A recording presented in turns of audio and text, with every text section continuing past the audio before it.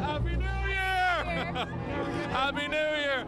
So what's it like to be here in Times Square? Oh, it's a lot of fun with my cousin. It is a It's a great come time. true. I love it. I love it. Life is good. I love New York. Yeah, it's so much fun.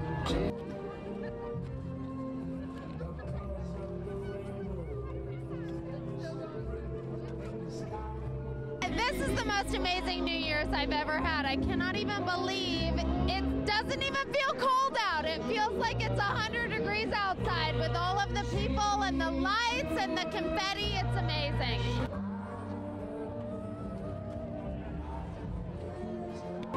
for the health and well-being of everyone.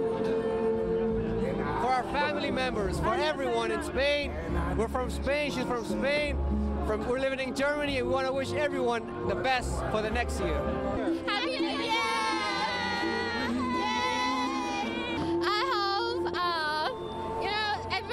Nice 2015.